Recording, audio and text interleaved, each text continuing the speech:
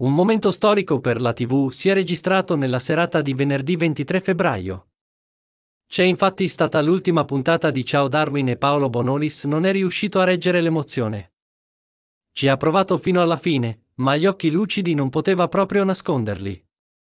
Ha iniziato un bellissimo discorso che ha fatto piangere anche milioni di italiani che erano davanti al piccolo schermo.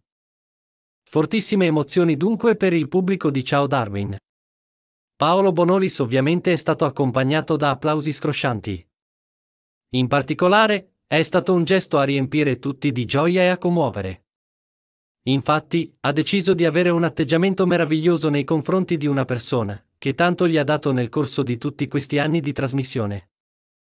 Non poteva che finire quasi tra le lacrime questa sua straordinaria e lunghissima avventura con Ciao Darwin.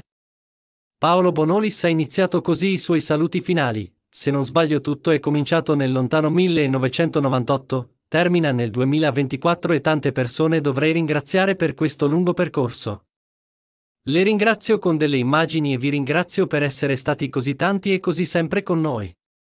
Poi vorrei ringraziare due persone per me fondamentali in questa produzione. Bonolis ha fatto quindi i nomi di queste persone, SDL l'ho già detto, poi vorrei ringraziare la regia di Roberto Cenci e, perdonatemi, ma il ringraziamento più grande al termine di una storia che è durata quasi 30 anni va al maestro Luca Laurenti. E poi, ripeto, grazie a tutti quanti voi che ci avete seguito.